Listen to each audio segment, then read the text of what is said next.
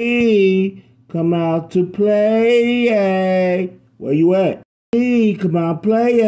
E, come out play. Well, as y'all can all see, Jay Z has been laying mighty low since those allegations came out with him and Diddy.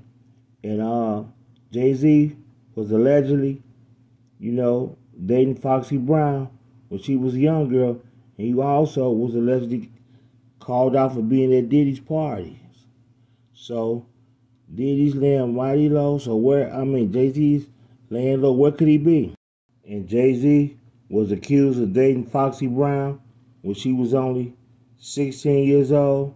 So you see, he's right here. He was also accused of being a ghostwriter in her songs.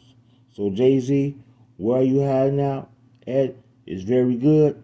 So you, you might as well stay where you at, because I think they're on your trail, because you haven't said a word, Mr. Jay Z. There's G. Patton Chiraq, and I'm out.